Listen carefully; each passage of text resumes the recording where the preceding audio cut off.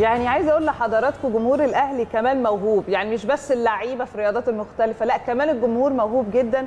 ويعني كان معانا على التليفون لو حضراتكم تتذكروا الأسبوع اللي فات شيف خالد واتكلمنا معاه على ال- البيتزاية اللي كانت بصورة قفشة. وقلنا له يا ريت تبقى معانا. عايزة أقول لحضراتكم هو أصلا عايش في الغردقة. جه ركب الساعة 12 بالليل امبارح علشان يكون معانا النهارده. يعني بجد إحنا منورنا في البداية صباح الفل.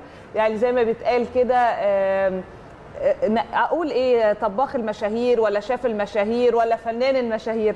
هو صانع تختار بيتزا- إيه؟ صانع بيتزا نجوم صانع بيتزا النجوم حلو. صباح الفل عليك. منورنا. أهلا بيك وميرسي على الشغل آه، لا، الجميل. معلش بقى لازم آه، نوريهم. طبعا ربنا- آه، طبعا. أوري حضراتكم. هو كان شيف خالد برضو في المكالمة اللي معانا قال لنا هيعمل بيتزا لكل واحد ب- بشكله. فده أنا على فكرة والله شبهي جدا.